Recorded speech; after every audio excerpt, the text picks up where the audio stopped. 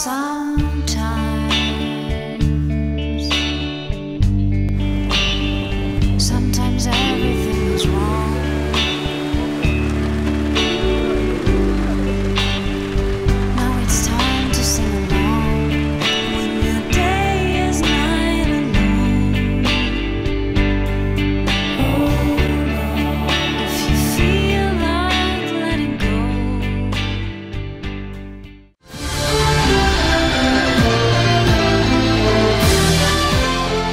Na manhã desse sábado, os moradores da Vila dos Pescadores receberam mais uma ajuda.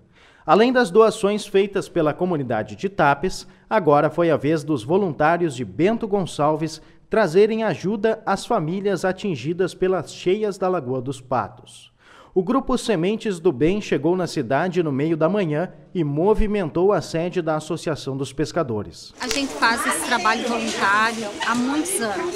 Tudo começou com o meu falecido marido, que auxiliava qualquer pessoa e que, inclusive, sou, tenho casa na Lagoa dos Patos, na Pinveste, e a gente percorre a toda a cidade itapense, independente de religião, independente de posições sociais.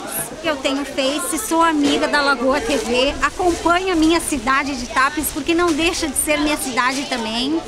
E através da TV eu consegui ver a necessidade e a necessidade maior na Vila dos Pescadores. Após isso, entrei em contato com o presidente da Associação dos Pescadores, o seu Adão, e tivemos contato e resolvemos fazer de imediato uma forma de arrecadarmos uh, alimentos não perecíveis, roupas, colchões, cobertas de toda a comunidade de Bento Gonçalves.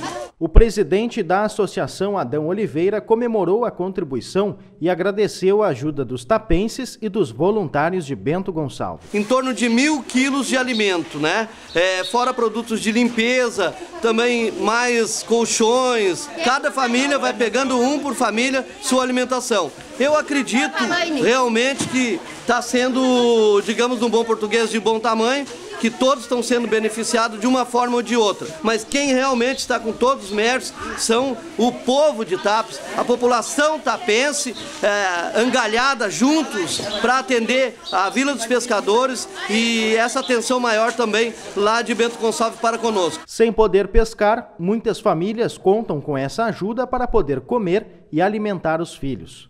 A Lagoa dos Patos continua com o nível elevado e a maioria das casas da rua João Ataliba e da Vila dos Pescadores, ainda estão alagadas. Sementes do Bem Bento Gonçalves, pessoas do bem, pensando bem e fazendo bem.